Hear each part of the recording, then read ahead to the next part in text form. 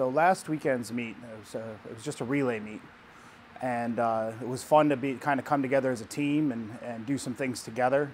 Uh, had a little bit of fun in the, in the process, and was, I think it was a great way to start the season because it kind of gave us an idea where we are and what we need to do going forward. Uh, actually, coming off a COVID year, uh, COVID hit us really hard, and there was a lot of uh, the self doubt actually kind of came into this season a little bit. And I think the relay meet helped expunge a lot of that self doubt and make make uh, these swimmers really feel confident um, in the water and in themselves uh, from what they accomplished because a lot of them are already way faster than they were at this point all last season. So um, they've done some really great work leading up to this point, and we're just building and building uh, every single week. First team goal is to come together as a team. We had an entire year where we could not swim in the same lane as each other.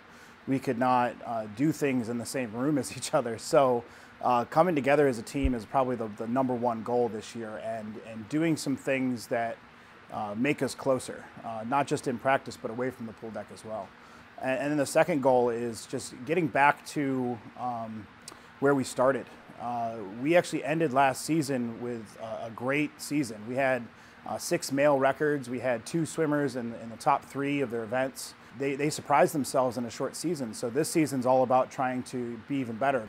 Uh, we are going to be strong in butterfly, uh, 400 IM, uh, both butterflies actually, 100 butterfly and 200 butterfly. Again, 400 IM, and uh, we have a freshman sprinter who is starting to show. Uh, he's gonna he's gonna give the the uh, Mid Atlantic Conference a run for their money this year, so I'm really excited about him.